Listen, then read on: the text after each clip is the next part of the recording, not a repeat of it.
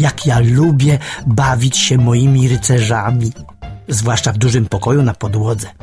Tam jest tyle miejsca, że mogę rozpętać prawdziwą wojnę.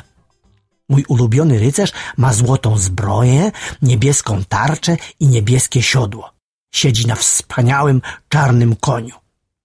Wyglądałby dużo lepiej, gdyby miał zarzucony na ramiona płaszcz, pomyślałem. Widziałem na obrazku w książce rycerzy pędzących na koniach. Ich zbroje lśniły w słońcu, a za nimi powiewały kolorowe płaszcze. Gdyby mój rycerz miał taki długi, najlepiej niebieski płaszcz, wyglądałby jak oni. Rozmarzyłem się.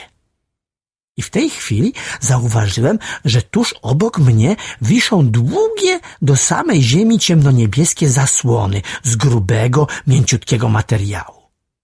Świetnie nadawałyby się na taki płaszcz, pomyślałem, gładząc w rękach delikatny materiał. Potrzebuję przecież tylko małego kawałeczka. Gdybym tu odciął, nic by się nie stało. Te zasłony i bez tego kawałka zasłonią okno. No co to komu szkodzi? Zastanawiałem się. Nożyczki jakoś tak same wpadły mi w ręce, chociaż zazwyczaj, gdy chcę coś wyciąć, muszę ich długo szukać.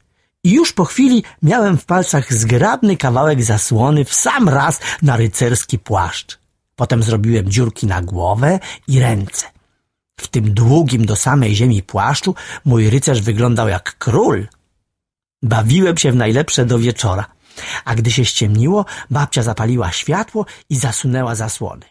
Wtedy wszyscy zobaczyli sporą dziurę wyciętą tuż przy ziemi.